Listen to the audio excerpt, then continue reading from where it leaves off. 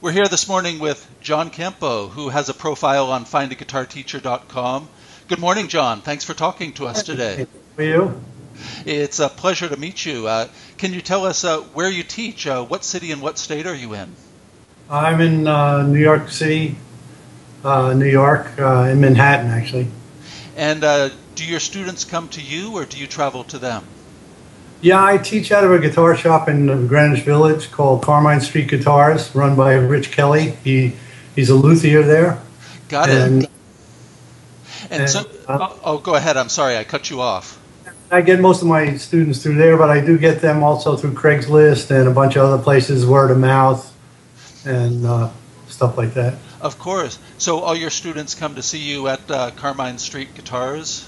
Well, they get my information there. Um, if if necessary, uh, some of the younger children like to go to the guitar shop. So children, I will teach at the shop, but um, no, most of the uh, intermediate uh, students and advanced students come here because all my materials here. It goes Yeah. back, you know, for decades and decades. So it's kind of hard to move it around. Of course. Yeah, so most of your students will, will come to see you at your place, at your home studio. Right, and then uh, some of the more advanced students end up working with me. Got it. Very good. And uh, can you tell me uh, when students contact you, what kind of styles are they most interested in learning? Oh boy, it runs the gamut, you know. yeah, I um, bet. um, I had one guy come to me, he had a brand new white Strat, had never picked it up before, Wow. had never held it in his hands. Oh, That boy. was that was kind of tough. And uh, what did he say he wanted to learn? he wanted to learn the guitar, you know. I said, but you never picked up the guitar. Why don't you just hold it? You know, So I just hold it. hmm And, uh, you know, obviously it didn't last too long, but um, That that can Yeah. happen, and and you're right. It really does run the gamut uh, when people come to you.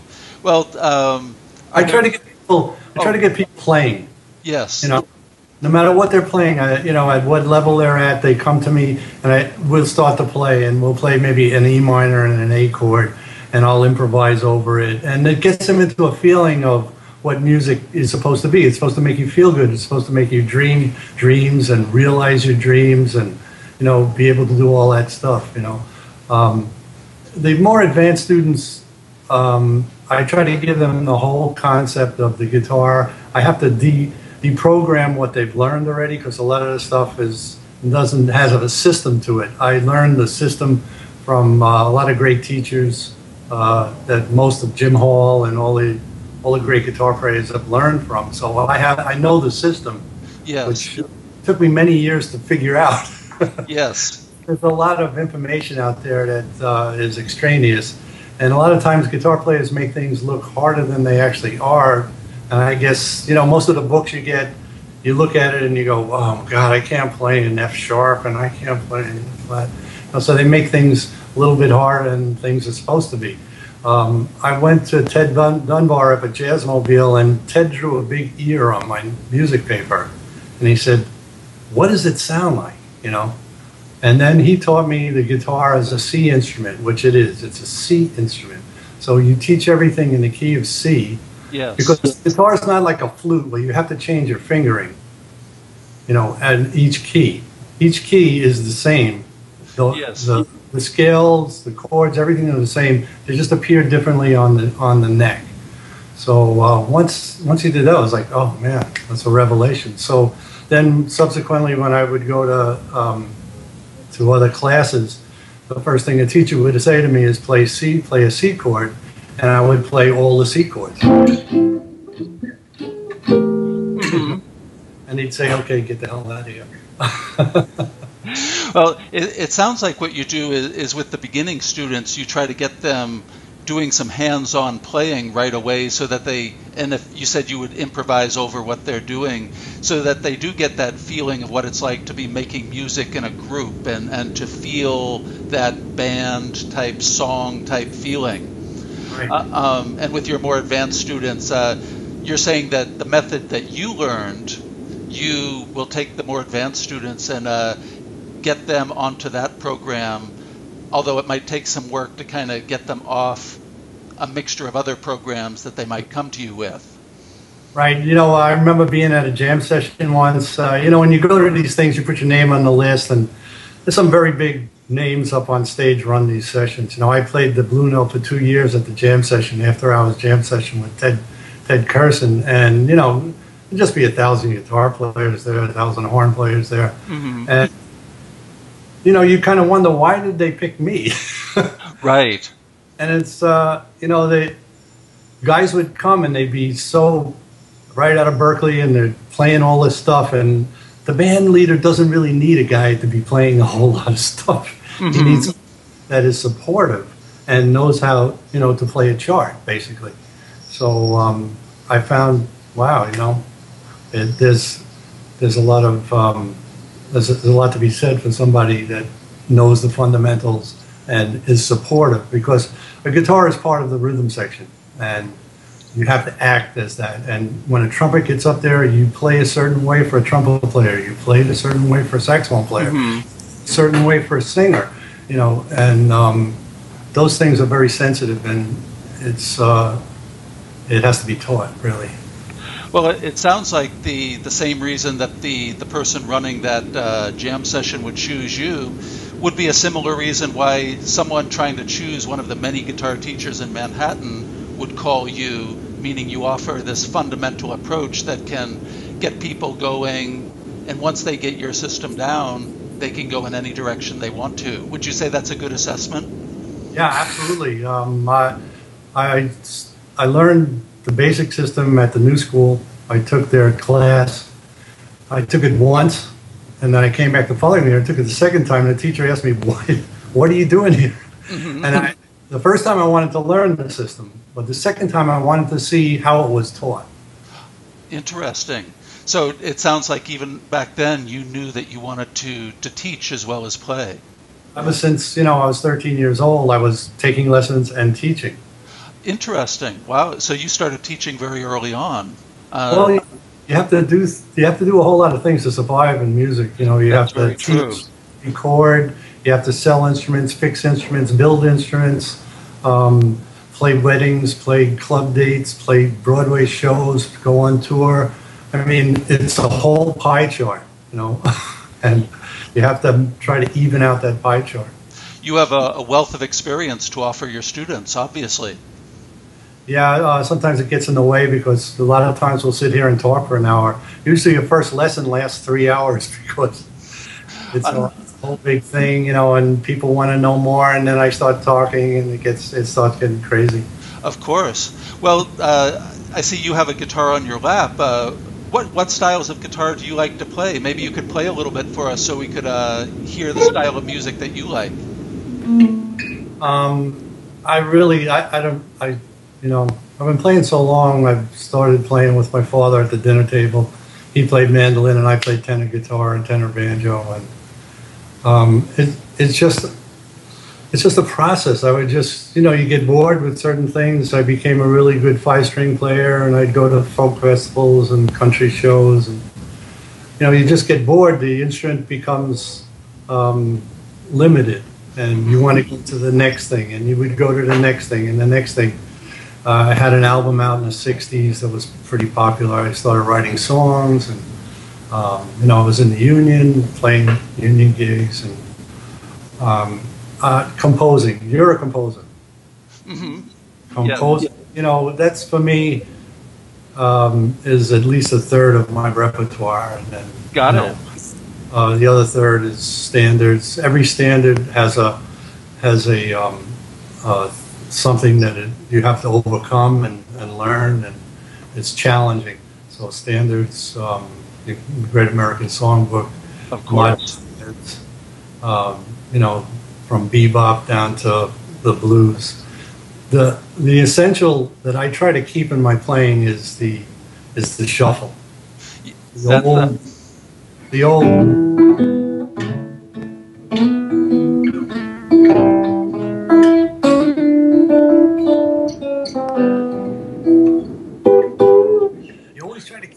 feel, that real, you know, that gut wrenching feel that everybody can relate to. You try to standards. You try to put that in, in everything you do. So um, I like to be able to show somebody. Uh,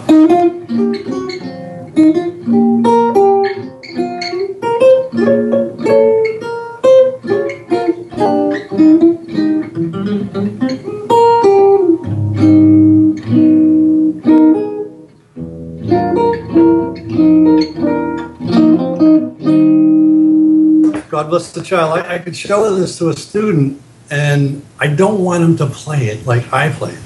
Mm-hmm. Him want to show him the structure of the tune, have him play the melody, and figure out how to play that as a solo piece. And I love when they come back and I go, wow, I learn more from a student that comes back to me and shows me, hey, look, I'm doing this and I'm doing that. I'm playing these partials and, you know, it's uh, that's very rewarding. I think that's what real real music is. You know, I've I've struggled with a lot of classical pieces. My daughter is an incredible pianist, classical pianist, reads incredibly, but she can't improvise note one. it's just the way she is. Right. But uh, when you, um, you know, when you can create something out of out of air, it's just so pleasurable. You know. It's very pleasurable. Well, let me ask you, uh, and obviously, uh, when a student comes back to you that way and is playing the song in a new way that you hadn't thought of, obviously that's a result of your teaching that you created. You inspired that student to take the song and to to enjoy it to that level that they would improvise and come up with something new. But can you tell us a, a little bit just about your lessons? Uh, when you work with students, how long are your normal lessons, and how often do you work with students? Well, like I say, the first I, the first lesson is a whole block of time. It's at least three hours, mm-hmm. always, maybe more, depending on how the student is. If the student's really receptive, and I have the my second guitar player was my student now, and he is amazing. Now he's been with me five years, and he does stuff now that I, I'm getting older, and I can't really, you know, like I can't do this for like a long time. Well, I did this for many, many years, especially at the jam session. Sometimes we'd have Right. 20 horn players would come up, and I'd be playing, you know, with the rhythm section for three hours, like There- you know, There you go. for three hours, you know, just just chonking away. And uh, you know, as you get older, um, now my second guitar player is so amazing. I mean, he I give him my charts, you know, I give him give him these things, and he just he knows exactly where my head is at. You know, Mhm. this is the way a union chart would look. So, and even much more complex. There might be five chords in a bar or something like that. You know, union chart. So um, I try to I try to write the charts for him so that he uh, you know it's in the, his level of his capability. But he Right. is amazing. I mean, he's he just it's really great. There are a lot of guys that I taught that have gone on and just like forgotten me. I can't even get in touch with them anymore because they're now so famous. But um, you know, it's nice to have have students that I have three or four students that I can call for a job at any time I want. You know, so it's it's really good. That's wonderful. So- so- And, and when you're teaching, uh, what are your fees, John? Um, I you know I usually charge fifty dollars just for for a, s- a lesson. Fifty dollars for an hour lesson. No, I don't go by time. Oh, okay. So fifty dollars for a lesson, and it kind of might be an hour. like I kind of- the first one is a big block of time Right. to get them on the program. Once they're on the program, I expect them I expect them to do their work, you know, because Yeah. that's what I I I always came back with my teacher, my lesson done, and I always wanted to to solve the next problem, solve the next problem, solve the next problem. So I expect them to come back and you know, I won't chastise them if they don't, but they'll know that I'm not happy. right. So the next lesson, you know, is going to be as far as they can go for that next period of time until Right. their head's full again. And then I say, okay, you've had enough. and then they say yes. And, and uh, sorry to cut in. I just wanted to say that uh, you're holding a, a beautiful archtop guitar, and I see another one behind you. I, I see a ukulele uh, behind you to your left. Uh, do you offer guidance to your students? Uh, do you help them to select new guitars, uh, like a beginning student uh, who's looking for a guitar? Can you offer them advice I'm about so that? glad you asked me that. Please uh, tell have- us. I have just gotten uh, off of eBay. Actually, I got three beautiful arch tops that I have at the shop that I've customized, and they're at a definite, you know, level uh, entry level price. But they are incredible guitars. They're just as good as this. You know, my sin is priceless. Uh, it's like way out of sight for anybody to buy these days. I couldn't even buy one these days. I got this for twelve hundred dollars. I think it's worth twelve thousand now. Wow. It's beautiful, John. It really is. It's a lovely guitar. Yeah, uh, Rudy's has really set it up for me too. I had some problems with it I couldn't figure out, and, and uh, his craftsman over there did. And then this one I designed because all my other guitars were limited in some capacity. There was, you know, they had a limitation to them. And it always bothered me that I had to bring a certain guitar to a certain gig. I made this uh, this solid body here, which is probably my best guitar, but solid bodies require a lot of sound. You have to play, you know, a punk rock gig or something like that. And at my age, nobody's calling me for punk rock gigs. so, so I made this as a combination between my 335 and my L5 because I'm playing the 335, but I wanted to play the L5, but the L5 kept feeding back and it was doing this, and 335 was uh, you had to play it so loud, and I was like, man, this, is getting crazy. So I I designed this guitar, and Rick helped me, and uh, we put it together, and uh, it serves everything that I need. It's beautiful and it's also familiar. I think you might be playing that guitar in the photo that you use for the Find a Guitar Teacher profile. Yeah, Um, it's my main. It's my main Yeah. guitar. I, you know, I've tried others. I have you know a bunch of them here. Uh, we even when we do acoustic acts, I play uh, a gypsy guitar, a D-hole gypsy guitar, okay. uh, because a lot of a lot of clubs that I play at want to hear acoustic music. You know, you know. Right. So what I'll do is when once I I go do the first gig with the acoustic guitar, and then I show up with that thing later on with a very small, teeny little amp. Of course. Of because course. uh, you know a lot of restaurants get very loud, especially in Manhattan. That that's very true. Well, as we begin to wind down the interview, maybe you could play a little bit more. Uh, you mentioned the jazz standards that you love. You also mentioned your own compositions. Maybe you could, uh, if you don't mind, maybe you could play something of your own, like a section of a song, maybe 20 or 30 seconds. It would be a wonderful way to end the interview.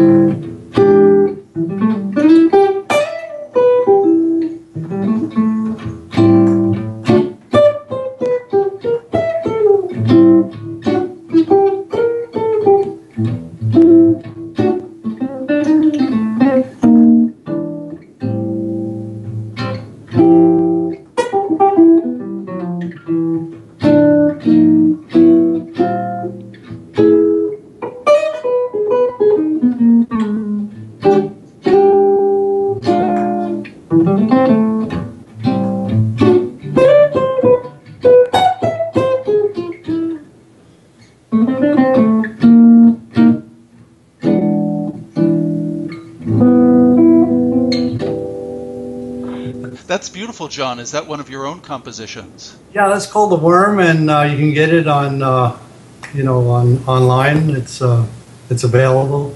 And that was The Worm, uh, W O R M. Yeah. That's wonderful. It's a beautiful song. Thank you for playing that. And and, and I, yeah, and I want to thank you, John. Uh, there's one thing I wanted to say. I wanted to ask you: Have you read uh, Aaron Copland's how, "What to Listen for in Music"?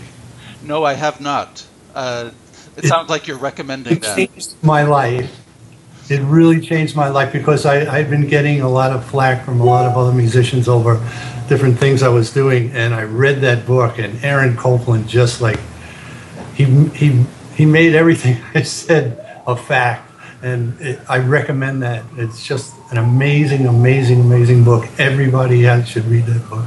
I'll keep that in mind. Uh, thank you very much for the recommendation. And, and John Campo, I want to thank you very much for taking the time to do this interview. It, it's such a pleasure to meet you and to talk to you about your guitar teaching and also to hear you play, uh, especially to hear your original composition, The Worm, that you were playing at the end. That's a beautiful kind of swing blues jazz piece. It, it, it was lovely.